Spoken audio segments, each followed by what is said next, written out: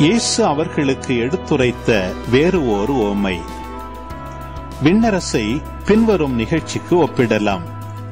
ஒருவர் தம் வயலில் நல்ல விதைகளை விதைத்தார். அவருடைய ஆள்கள் தூங்கும்போது அவருடைய பகைவன் வந்து கோதுமைகளுக்கிடையே களைகளை விதைத்துவிட்டு போய்விட்டான். பயிர் வளர்ந்து கதிர்விட்ட போது களைகளும் காணப்பட்டன. நிலக்கிழாருடைய பணியாளர்கள் அவரிடம் வந்து ஐயா நீர் உமது வயலில் நல்ல விதைகளை அல்லவா விதைத்தீர்? அதில் களைகள் காணப்படுவது எப்படி? என்று கேட்டார்கள். அதற்கு அவர் இது பகைவனுடைய வேலை என்றார். உடனே பணியாளர்கள் அவரிடம் நாங்கள் போய் அவற்றை பறித்து கொண்டு வரலாமா? உம் விருப்பம் என்ன? என்று கேட்டார்கள். அவர் வேண்டாம் களைகளை பறிக்கும்போது அவற்றோடு சேர்த்து கோதுமையையும் நீங்கள் பிடுங்கிவிடக்கூடும்.